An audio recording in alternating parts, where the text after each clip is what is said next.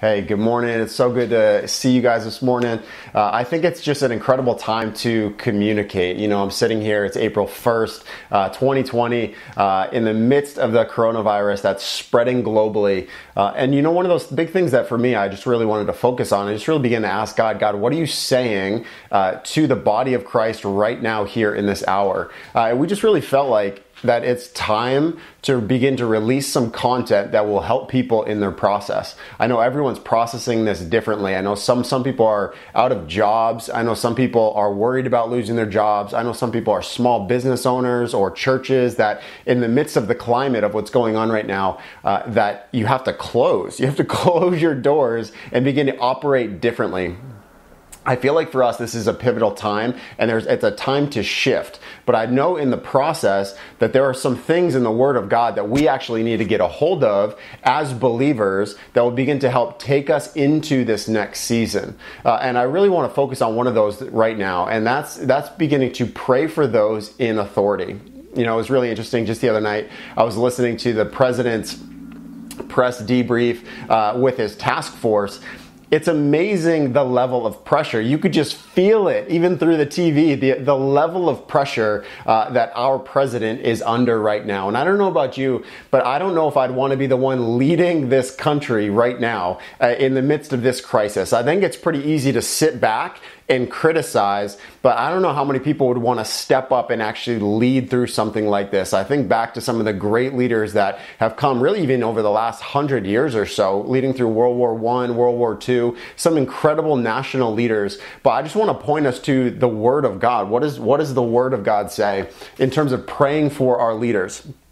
And in 1 Timothy 2, uh, in verses 1 and 2, it says this First of all, then, I urge that petitions, prayers, intercessions, and thanksgivings be made for everyone, for kings and all those who are in authority, so that we may lead a tranquil and quiet life in all godliness and dignity. And I think for us, the instruction from Paul to Timothy of the day was pray for kings. Pray for everyone, for sure, but pray for kings and pray for those in authority so that you may lead a tranquil and quiet life. And I love that. And I think for us as believers, if we're actually willing to get a hold of this, that I'm going to commit to pray for those in authority. This is a commitment to pray for our president, a commitment to pray for our governors, our mayors of, of your city, wherever you are, wherever you're sitting today, wherever God's placed you, that you would actually have a commitment in your heart to pray for those in authority. And I love this. I love how Daniel says this in Daniel 221. And he actually says that God changes the times and the seasons and he removes kings and establishes them. I love that thought process because I think when we look back at history, we may say some people, wow, they were godly leaders. I think even when we read throughout the word, right, we'd say some leaders were godly leaders, and other ones you'd say, hey, maybe not so much. But I think in today's day and age, knowing and trusting in our God, right? This isn't who you voted for, this wasn't what political party you're a part of, but that God removes kings and establishes them. So, in our day and age, sitting here in America, we have a president, we have governors, we have those in authority over us that are the kings of today. That we are actually called as believers to press in and pray for them. And I just want to encourage you that even if you didn't vote for a particular individual, you might not agree with everything they've done or everything that's going on, but I think in the midst of this, I always challenge people who say, "Well, I didn't vote for this president. I didn't vote for that governor. I didn't vote for this this person or those policies." But in the midst of it, I think you should actually pray more.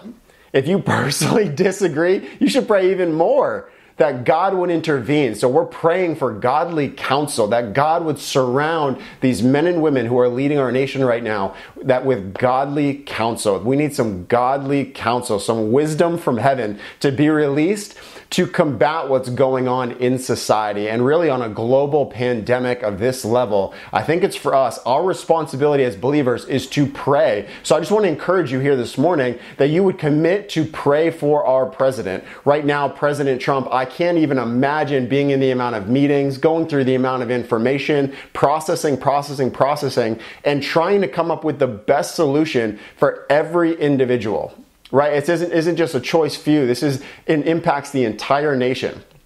So I think for us, as we kind of conclude our time here, I just want you, eh, I just really want to challenge you. Would you be willing to make a commitment to pray for your president, to pray for your governor, to pray for your mayor, that they would make godly decisions in this hour? Love you guys. We'll see you again soon.